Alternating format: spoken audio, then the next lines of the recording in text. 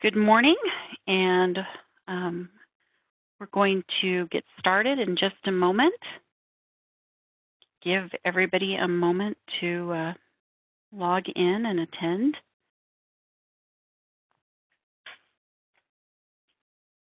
Okay, let's start. Good morning, everyone, and thank you for joining me today. I'm Vicky Winslow, Director of Support Services here at Cerium Networks. Today, I will be discussing Avaya manufacturer support, how it's evolved over the years from both a pricing and required attach perspective, and how the current state of the offers look today. You can type your question in um, or hold them until the end and I will get them answered. Okay, so a little bit of, uh, of history. In 2000, when Avaya spun from Lucent Technologies, they stated they had over 1 million customers. A large percentage of these customers had a post-warranty maintenance agreement with Avaya. These agreements comprised about 50% of Avaya's revenue and were priced on a component basis. Every cabinet, circuit pack, processor, uh, license, license bundle had a per unit price. Um, at this time, Avaya also had a 12 month warranty that included maintenance entitlements during the warranty. And, you know, we would often have a year of no maintenance billing after a new install or an upgrade. In 2003, Avaya created the utility pricing model. They moved from pricing against every component to a per X or a per user price.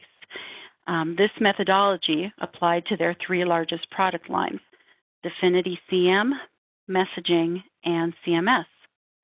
For the Definity CM product line, they counted ports, TDM using ECS equipped, meaning if it was seated in the switch and it was a 24 port pack, you paid maintenance on all 24 ports or administered IP ports. They also charged an uplift for terminal replacement, um, certain uh, adders like an LSP or an SRP charge in the in the utility model, um, and, you know, and some other some other miscellaneous items. Messaging and CMS were based on per administered users. Um, CMS also had a per administered supervisor charge. So it wasn't based on licenses or components.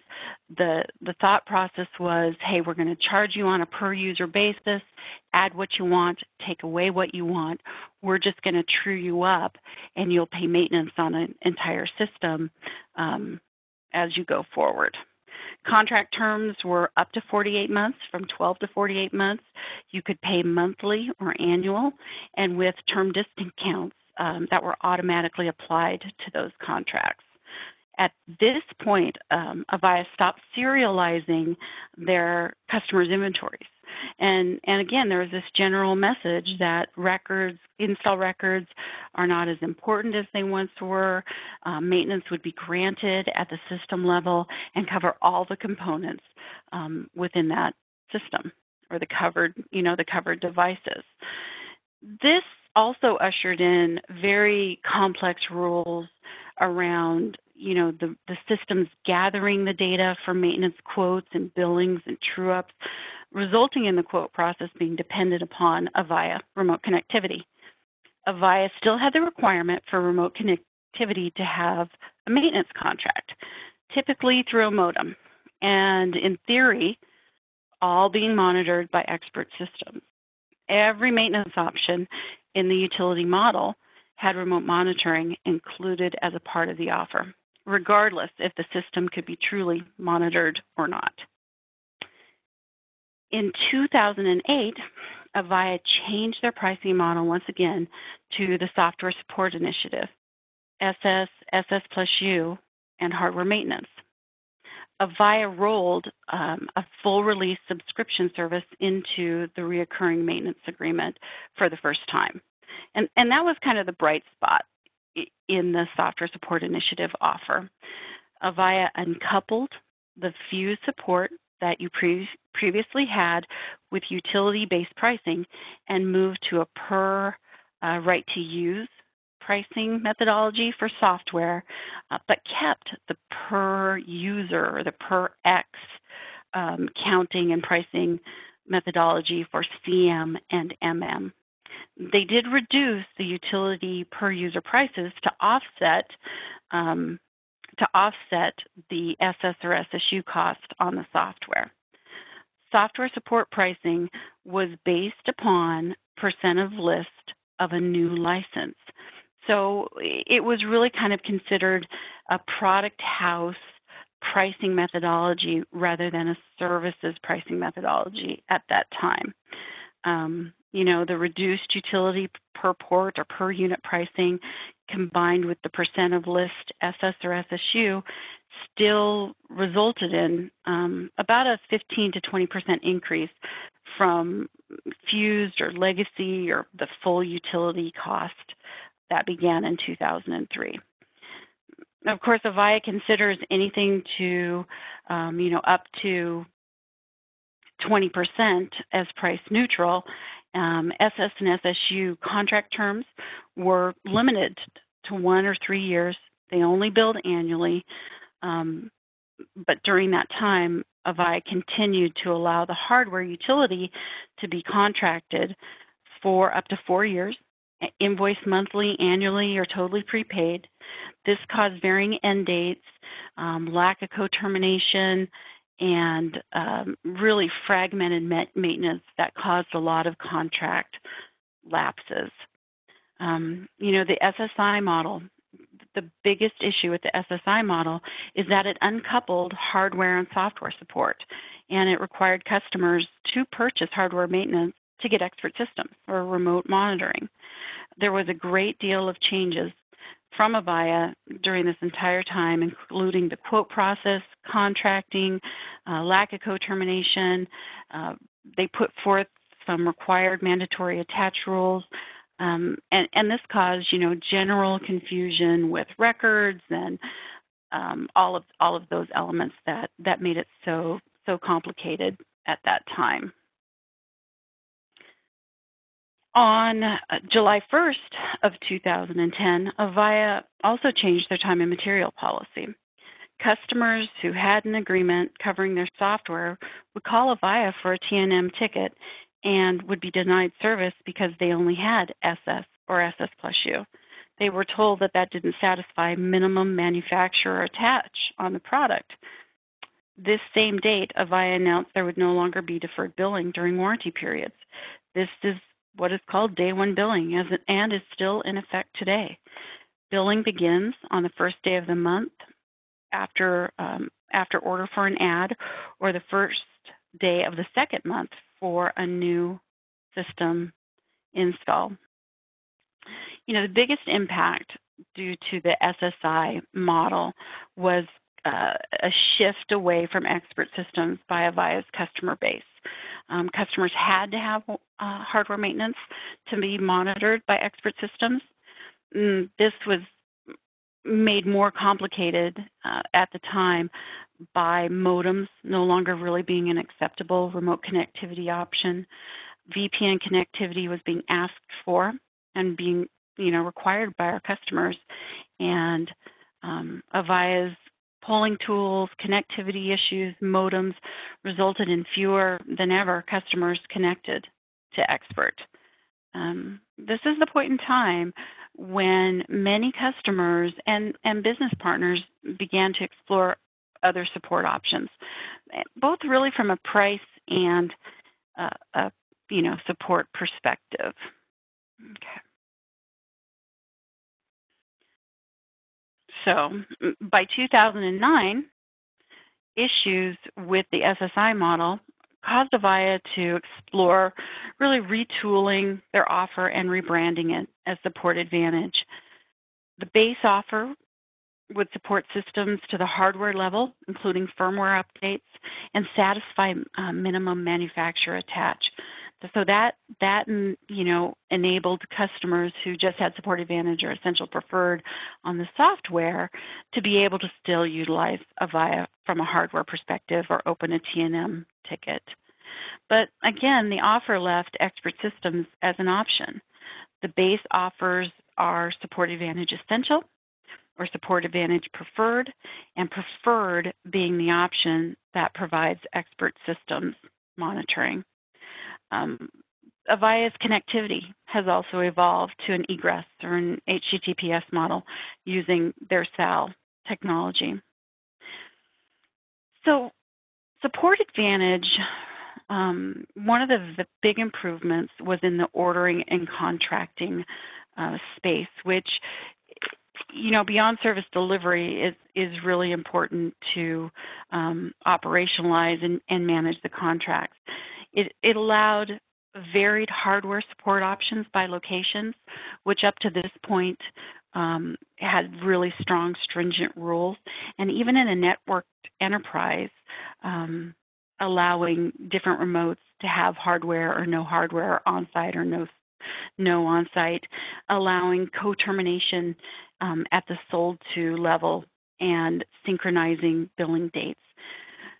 That's really a, a big a big uh, improvement because you as a customer would be able to receive one invoice annually for your Avaya manufacturer support and not have multiple invoicing um, events throughout the year that you receive going, okay, now what is this for? Why do I have 70 CM licenses for support here and another 140 coming in the end of December?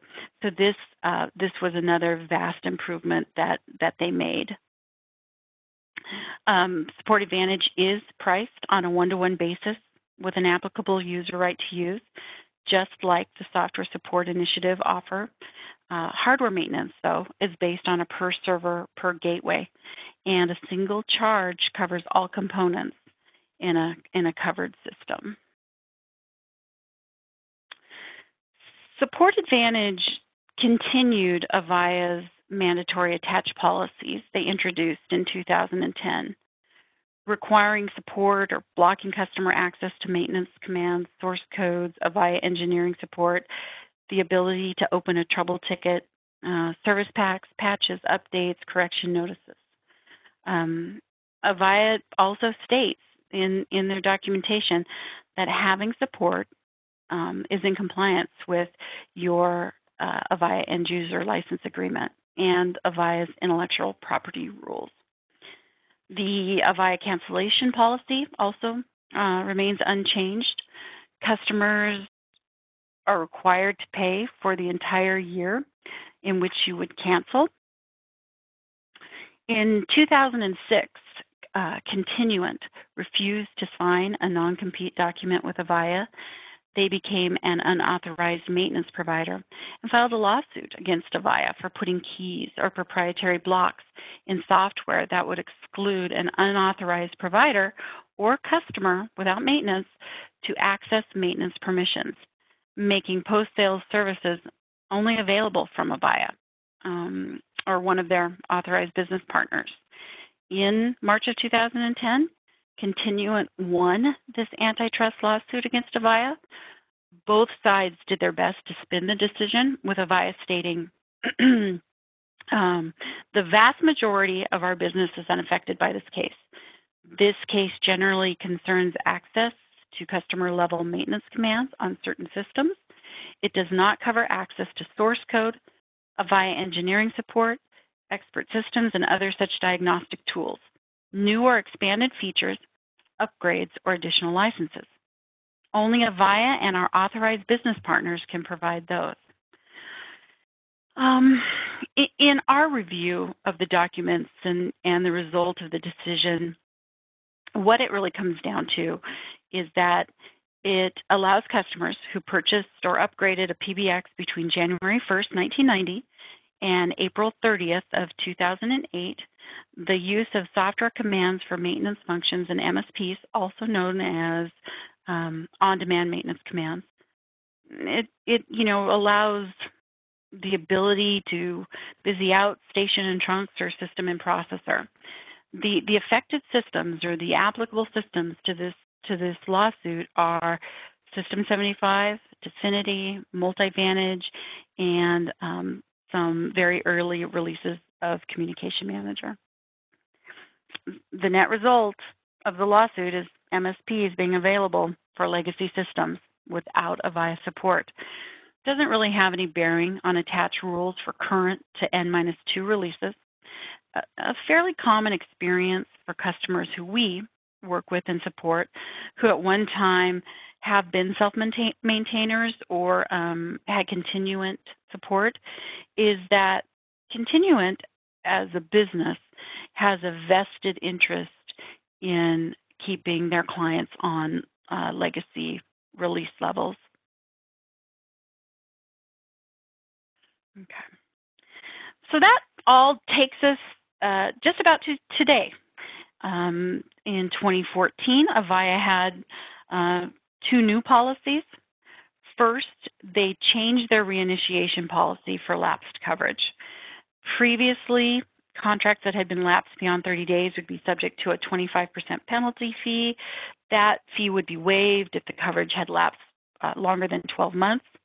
The new policy is contracts that are lapsed for longer than 30 days will have the 25% penalty, but that's going to scale up every quarter to a maximum of 100% of the first year value. Um, and, and with no waiver ability for just coming back on a welcome back basis.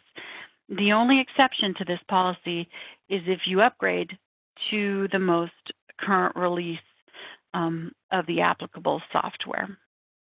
So if you're a CM5 and your coverage has lapsed, um, you know, they will charge you up to 100% of the first year value to bring that CM5 under maintenance.